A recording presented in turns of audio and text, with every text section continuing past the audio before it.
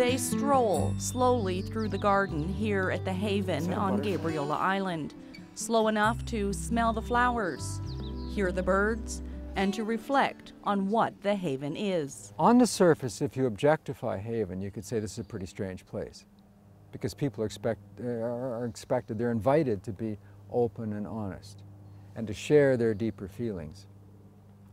And so that's certainly different than you're expected to be out in the world. And people from out in the world have been coming to the Haven for nearly 30 years now. It's been hailed by some as one of the best kept secrets on the West Coast.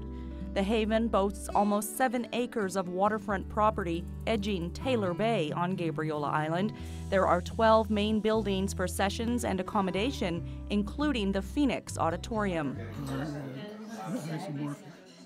Bennett Wong, now 82 years old, suffers from MS, and Jock McKeen, who's a lot younger than that, founded the Haven in 1983. I think human beings were contending with the same issues we always have, which is always boils down to objectification.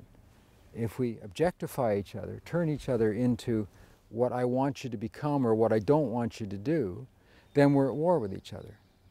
And we're suspicious and we're afraid and we have to be defended.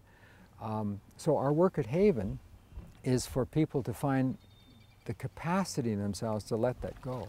We're here in the gift shop at the Haven, and the bookshelves are lined with personal development books, many of which have been written by Ben and Jock. Their most recent is The Illuminated Heart Perspectives on East West Psychology and Thought. They've written most of their many books together. In fact, they do almost everything together. They say they've been apart for only about 14 days in the last 40 years. He's my muse, my life partner, was my teacher, is my teacher, is my student. They're the person that I respect the most in the world. He's one of the funniest guys I ever met, who knows me inside out and backwards, and still puts up with me and wants to be with me. I am more of me for being with you. And most people want to know if they're gay. They say that's irrelevant and that labels don't really serve any purpose. Sexual orientation aside, the connection between these two is something many people strive for, but never find. Rachel Davey is the executive director at The Haven. She took the Come Alive program in 2001 and found something here that she hadn't anywhere else.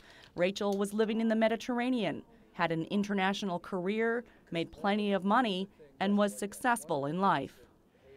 But I just had this feeling that something was missing, and I kept finding myself over and over in the same spot of there's something, you know, something's not right. There's, there must be more, but I'm not finding it. I'm not able to find it in my life. And I kept trying and trying and trying and trying.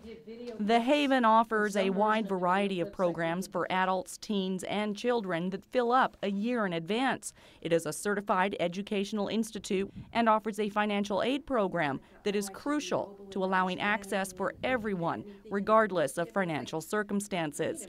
The underlying philosophy of all the programs here is to embrace connectedness through diversity. I can take an interest in your different point of view and you can take an interest in mine and in that process we can become closer and understand each other. This is the, the breaking down of the, uh, of the separation and we can share diversity. The Haven became a not-for-profit organization in 2004. They offer programs all year, and they are one of, if not the biggest employer here on Gabriola Island. Ben and Jock are hands-off these days, living day by day as they experience the knowledge and emotions that go with knowing that Ben is in his last phase of life. That one of us is going to die and the other guy is going to have to clean up the mess.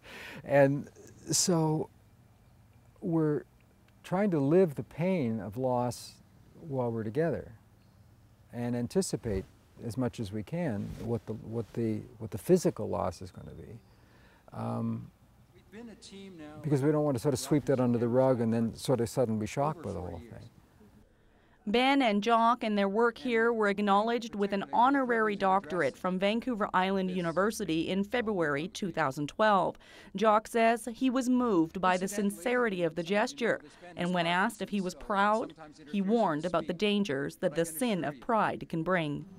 Ben says he's complete in his life. He's found love and intimacy and connectedness, and while he's not hopeful for the future of mankind, he has faith, which means simply that tomorrow will come and life will continue.